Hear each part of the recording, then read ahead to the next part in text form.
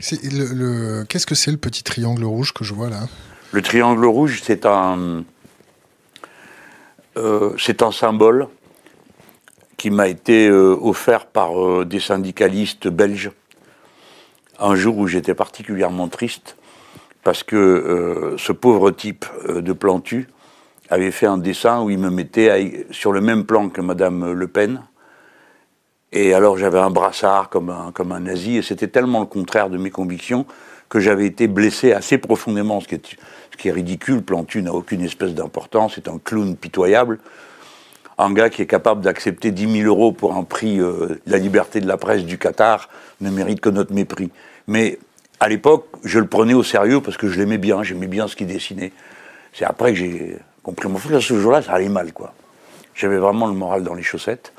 Et euh, je raconte mon histoire à un gars de la CGT belge, que ça fait rire. Il me dit Oh, tu te fais bien du souci pour rien. Tiens, t'as qu'à mettre ça. Comme ça, euh, ils se rappelleront. Alors, ça, c'est l'insigne des déportés, euh, communistes, socialistes, syndicalistes. quand la Wehrmacht ou, ou, la SS ou la Gestapo arrêtaient l'un des nôtres et qu'ils les déportaient en camp, ils leur collaient des triangles rouges. Nous, on était triangles rouges les droits communs, triangle noir, euh, les homosexuels, triangle rose. Euh, bon, nous on avait ça. Et alors, euh, je l'ai mis. Et ensuite, j'ai réalisé que avant moi, un autre le portait régulièrement, qui est Olivier Besancenot.